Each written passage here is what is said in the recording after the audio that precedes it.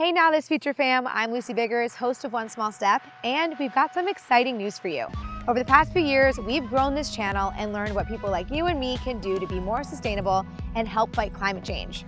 But you and me, we cannot do this alone. We need to use our combined power to put pressure on governments, politicians, and corporations to make big, sweeping changes across the planet. The Earth is at risk, and without it, there is no future. So, starting today, NowThis Future will be called NowThis Earth.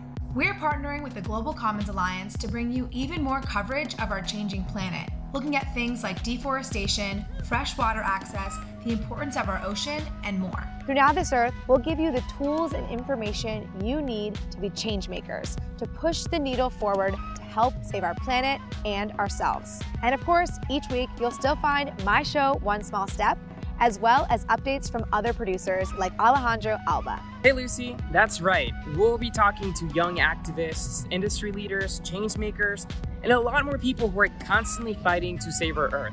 We'll also be bringing you helpful information that can empower you to make an impact in your own community. Now, this Earth, here we come.